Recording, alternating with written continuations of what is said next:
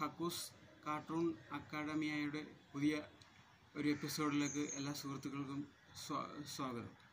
ഒരു കാർട്ടൂൺ എങ്ങനെ പിറവിയെടുക്കുന്നു എന്ന എന്നതിനെക്കുറിച്ചാണ് നമ്മൾ ഇന്നത്തെ ക്ലാസ്സിൽ റെഫർ ചെയ്യുന്നത്. എന്റെ നിരവധി സുഹൃത്തുക്കളുടെ സ്നേഹപൂർവമായ നിർദ്ദേശങ്ങൾ പാലിച്ചാണ് നമ്മൾ ഇങ്ങനെ ഒരു ഒരു എപ്പിസോഡ് ചെയ്യുന്നത്. ഞാൻ എന്റെ രീതിയിൽ ഒരു കാർട്ടൂൺ മെനഞ്ഞെടുക്കുന്നതിനെ പറ്റിയാണ് നമ്മൾ ചർച്ച ചെയ്തത് ഓരോരുത്തർക്കും അവരുടേതായ രീതി സ്വീകരിക്കുന്നതുകൊണ്ട് കുഴപ്പമില്ല. എന്നാലും നമ്മൾ പൊതുവേ ഉള്ള ഒരു ഒരു രീതിയെക്കുറിച്ച് പറയുകയാണ്. ഇവിടെ നമുക്ക് നിങ്ങൾക്ക് സൗകര്യമുള്ളവർക്ക് ഓരോ രീതിയിൽ മാറി ചെയ്യാവുന്നതാണ്. ഒരു കാർട്ടൂണുള്ള ആശയം നമ്മൾ നമ്മുടെ ചുറ്റുപാടിൽ നിന്നോ അല്ലെങ്കിൽ പത്രങ്ങളിൽ നിന്നോ മറ്റ് ചാനലുകളിൽ നിന്നോ എവിടെന്നെങ്കിലും ഒരു ആശയം നമ്മൾ സ്വരൂപിച്ചെടുക്കുകയാണ്. ആദ്യം ചെയ്യേണ്ടത് നമ്മൾ രാവിലെ പത്രം വായിച്ചിട്ട് പത്രം അല്ലെങ്കിൽ ചാനലിലൂടെ വായിച്ചിട്ട് ഒരു ചെയ്യുന്ന ഇത് കണക്കൊരു ഡയറിയിൽ ഇത് കണക്കൊരു ഡയറിയിൽ ആ പത്രത്തിലെ പ്രധാനപ്പെട്ട വാർത്തകൾ ഇങ്ങനെ എഴുതി എഴുതി വെക്കുകയാണ് നമ്മൾ നമ്മളെ നമ്മുടെ പെട്ടെന്ന് നമ്മുടെ നമുക്ക് ഉപയോഗിക്കാൻ പറ്റുന്നു എന്ന് തോന്നുന്ന വാർത്തകൾ നമ്മളിങ്ങനെ ഒരു ഡയറിയിൽ എഴുതി വെക്കും. ആ ഡയറിയിലെ വാർത്തകൾ നമ്മൾ ഈ ഈ വാർത്തകൾ നമ്മൾ മനസ്സിൽ മനസ്സിലിങ്ങനെ കൊണ്ടു നടന്ന് പരിചയപ്പെടുത്തിയാണ്. അതിനകത്തുനിന്ന് ഒരു ആശയം നമ്മൾ രൂപപ്പെടുത്തുന്നത്.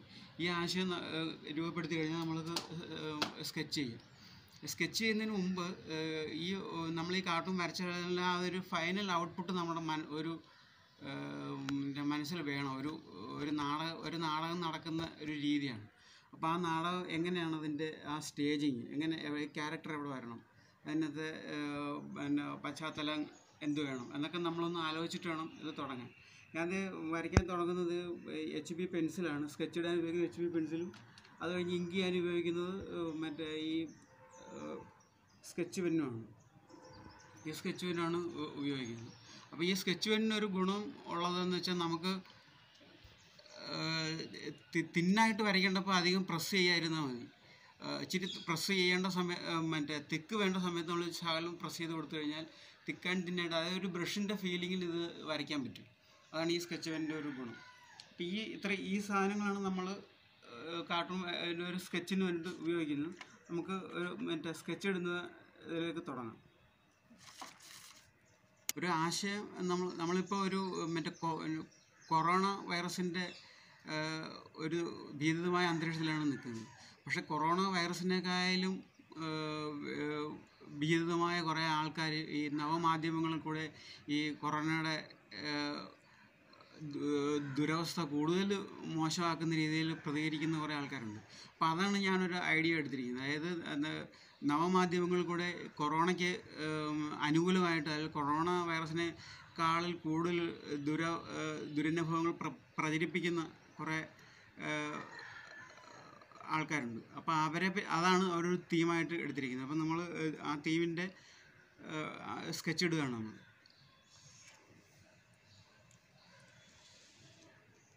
അപ്പം സ്കെച്ച് ഇടുന്ന സമയത്ത് ഈ- നമ്മൾ A four size paper A four size പേപ്പറാണ് ഉപയോഗിക്കുന്നത്. ഇത് ഈ പേപ്പർ ഫുൾ നിറഞ്ഞിരിക്കരുത്. ഈ നമ്മൾ വരച്ചു കഴിയുമ്പോൾ പേപ്പർ ഫുൾ നിറഞ്ഞിരിക്കരുത്. ഇപ്പോഴത്തെ അവസ്ഥയിൽ നമ്മളിപ്പോൾ ഏതെങ്കിലും ഒരു സൈഡിലായാൽ പോലും നമുക്ക് ഫോട്ടോഷോപ്പിൽ കൊണ്ടുവന്നിട്ടൊരു മറ്റേ ലേഔട്ട് നന്നാക്കി എടുക്കാൻ പറ്റും. പക്ഷെ എന്നാൽ പോലും ആ സൗകര്യങ്ങളൊന്നും ഇല്ലാത്തവർ പരമാവധി ആ ഒരു ലേഔട്ട് നോക്കി വേണം വരയ്ക്കാൻ. അപ്പം നമ്മളൊരു കമ്പ്യൂട്ടറിന്റെ മുന്നിൽ ഒരു ഒരു സാമൂഹ്യ വിരുദ്ധൻ എന്ന് നമുക്ക് വിശേഷിപ്പിക്കാം. അങ്ങനെയുള്ള ഒരാൾ ഇരുന്നിട്ട് ഈ കൊറോണ വൈറസിനേക്കാളും കൂടുതൽ മതസ്പർദ്ധയും അല്ലെങ്കിൽ കൊറോണയുടെ വ്യാജ വാർത്തകളൊക്കെ പ്രചരിപ്പിക്കുന്ന ആളിനെ പറ്റിയാണ് നമ്മൾ വരയ്ക്കുന്നത്. അപ്പം നമ്മളതിന്റെ ഒരു രീതിയിൽ സ്കെച്ചിലേക്ക് കടക്കുകയാണ് സ്കെച്ച് നമ്മൾ ആദ്യം ഇവിടെ ഒരു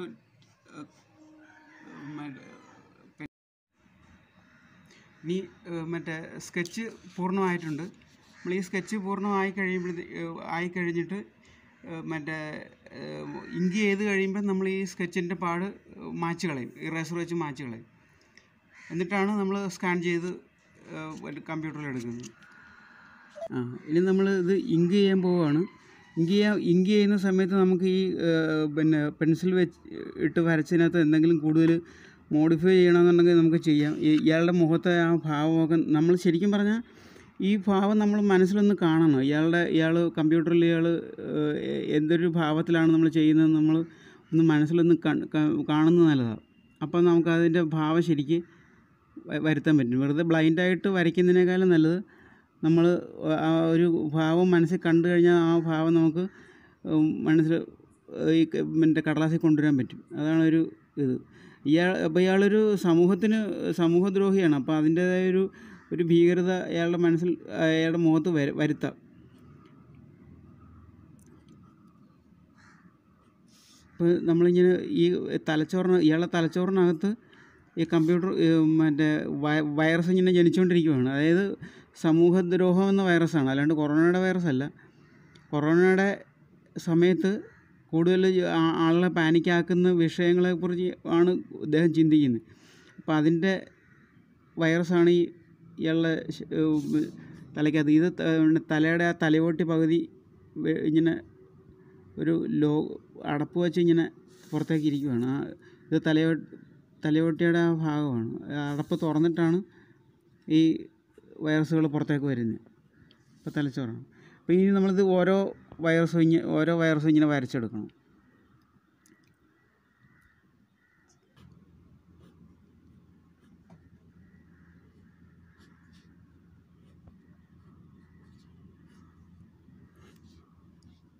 ഈ ഡ്രസ്സിന്റെയൊക്കെ ഈ ചുളിവൊക്കെ പ്രധാനമാണ്. നമ്മളിങ്ങനെ ഇപ്പോൾ ഇദ്ദേഹം ഒരു ടീഷർട്ടായിട്ട് ഇട്ടിരിക്കുന്നെങ്കിൽ ആ ടീഷർട്ടിന്റെ ആ ചുളിവൊക്കെ ഇങ്ങനെ കൊടുത്താൽ ഒരു കുറച്ച് ലൈഫ് കിട്ടും. വരയ്ക്ക്. വെറുതെ നമ്മൾ ഈ മറ്റേ ഓവർലാപ്പ് ലൈനും ഈ വസ്ത്രത്തിന്റെ ചുളുക്കും ഒക്കെ ഭയങ്കര പ്രധാനമാണ്. അപ്പോൾ ഇദ്ദേഹം പാന്റ് ഇട്ടിരിക്കുന്നതിന്റെ ആ ഒരു പാന്റിന്റെ ഇവിടുത്തെ ഈ ചുളുക്കുണ്ടോ ഈ ചുളുക്കൊക്കെ നമ്മൾ ശരിക്കും റിയലിസ്റ്റിക് കിട്ടാൻ നല്ലതാണ്. ഒരു നമ്മൾ കസേര ഇരിക്കുമ്പോഴത്തേക്കും ഈ ഭാഗത്തുണ്ടാകുന്ന ഒരു ചുളുക്കാണത്. അപ്പോൾ കമ്പ്യൂട്ടർ നമ്മൾ നമ്മൾ ആദ്യത്തെ ക്ലാസ്സിൽ പറഞ്ഞു ശരിക്കും ചെറിയ ചെറിയ ലൈനുകളൊക്കെ നമ്മൾ മറ്റേ കൈവച്ച് തന്നെ വരയ്ക്കണം സ്കെയിൽ ഉപയോഗിക്കരുതെന്ന്. ആ ഒരു വരയാണ്. നമ്മൾ ചെറിയ വളവോ തിരിവോ ഈ ലൈനുകളുണ്ടെങ്കിലും അതൊരു ഭംഗിയാണ്. അതായത് നമ്മൾ ഫിനിഷിംഗ് ലൈൻ സ്കെയിൽ മറ്റേ സ്കെയിൽ വെച്ച് വരയ്ക്കുന്നതിലും ഭംഗിയാണ്. നമ്മൾ ചെറിയ ഒരു വള വളവും തിരിവും ഉള്ളത് നല്ലതാണ് അപ്പോൾ അതുകൊണ്ട് മാക്സിമം ഈ ഉള്ള ചെറിയ ലൈനുകളെല്ലാം മറ്റേ ഉപകരണങ്ങളൊന്നും കൂടാതെ കൈവച്ച് തന്നെ വരയ്ക്കുന്നതാണ് നല്ലത്. ഈ ഈ ലൈനുകളൊക്കെ നമ്മൾ സ്കെയിലുകൾ ഉപയോഗിക്കാതെ കൈവച്ച് നേരെ നേരെ വരയ്ക്കുകയാണ്.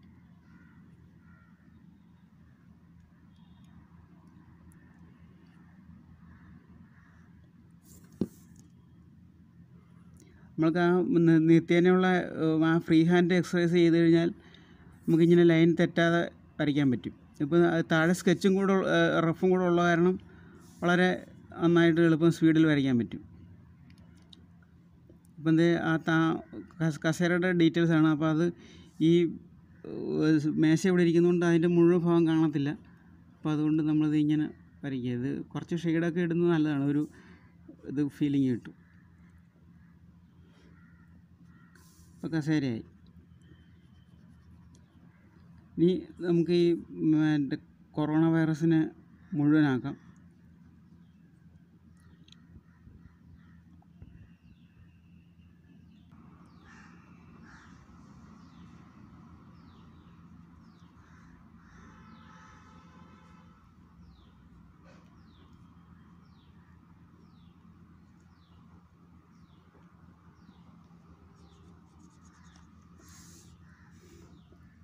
ഇതൊരു ത്രീ ഡി എഫക്റ്റ് കൊടുക്കാനായിട്ട് ഈ ഈ ലൈനുകൾ സഹായിക്കും. ഈ ഈ അകത്ത റഫ് അകത്തെ ലൈൻസ്. അപ്പോൾ അതുകൊണ്ട് ഇങ്ങനെ കുറച്ച് കൊടുത്തു കഴിഞ്ഞാൽ ഇതിനൊരു വെയിറ്റും ഒരു ത്രീ ഡി എഫക്റ്റും ഒക്കെ കിട്ടുന്നത് ഇങ്ങനെ കൊടുത്ത്.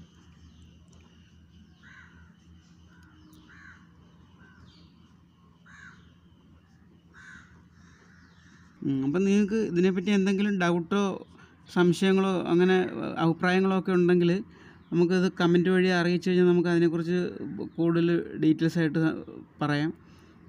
അപ്പോൾ അതുകൊണ്ട് എല്ലാവരും മാക്സിമം ശ്രദ്ധിച്ചിട്ട് എന്തെങ്കിലും അഭിപ്രായം ഉണ്ടെങ്കിൽ അറിയിക്കണം. അഭിപ്രായങ്ങളോ പരാതികളോ സജഷൻസോ എന്തെങ്കിലും ഉണ്ടെങ്കിൽ അറിയിക്കണം.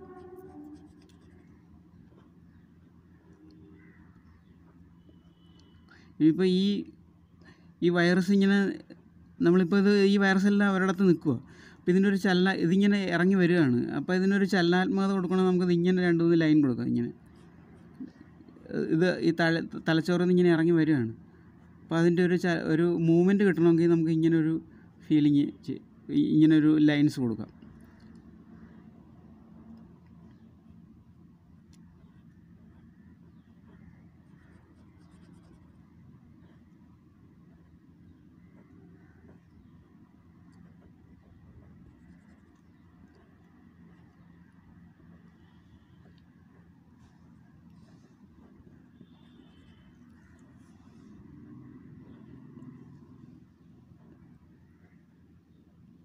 ഉം, അപ്പം വൈറസുകളുടെ കാര്യം ഏകദേശം ആയിട്ടുണ്ട്. അപ്പോൾ ഇതിങ്ങനെ തലച്ചോറിൽ നിന്ന് ഇങ്ങനെ സ്പ്രെഡ് ചെയ്ത് വരിക. അപ്പോൾ അവൻ അതാണ് ഈ കമ്പ്യൂട്ടറിൽ ചെയ്തുകൊണ്ടിരിക്കുന്നത് അപ്പോൾ ഇത്